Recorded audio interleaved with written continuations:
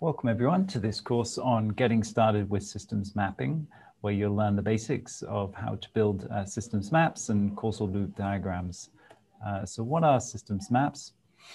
This is uh, a type of modeling that's designed to reveal the underlying interrelationships and structure of a complex system.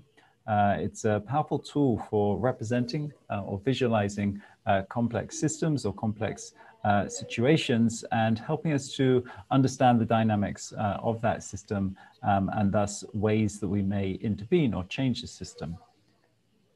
During the course, we're going to look at uh, many different types of maps so that you learn how to um, understand them, understand how they work, and also build your own. Uh, we'll go from the uh, more basic ones to ones that uh, are more complex over time, building up from systems maps to causal loop diagrams um, to systems archetypes. So we'll start with the basics here. How do you get started uh, mapping a system, uh, elements, interrelationships, uh, so on and so forth? That's the first section. Uh, we'll cover in the second section, we'll be adding to this causal relationships, positive and, and negative causal relationships between between the elements and building up uh, causal causal maps. Uh, we then add feedback loops to this, different types of feedback, uh, positive and negative, um, and looking at virtuous and vicious cycles and the types of dynamics that emerge out of those uh, feedback loops.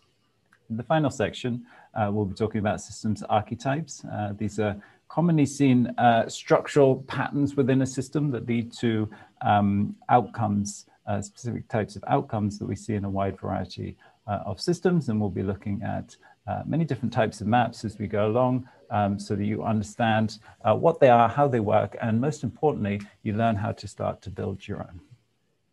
So this is very much an introductory course. Um, it's trying to get you from zero to one so that you actually feel confident confident enough to build your own maps and you understand um, how they work, how to read them, uh, and how to get started.